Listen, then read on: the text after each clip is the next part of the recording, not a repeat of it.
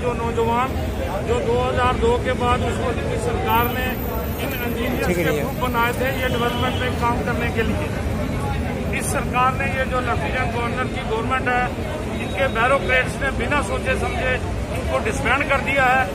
और मैं समझता हूँ कि इन लोगों के साथ बहुत जाती हुई है। जम्मू कश्मीर अपनी पार्टी आज इनके हक में धरने पे बैठी है। हमारी पार्टी की ये डिमांड है कि जल्द से जल्द सेल्फ हेल्प बहाल होने चाहिए। आज हमने पीसफुल धरना रखा है। अगर इनके मसले हल नहीं हुए तो जम्मू कश्मीर अपनी पार्टी आगे भी इस तरह के आंदोलन जारी रखेगी, जब तक इनके मसले हल न हो।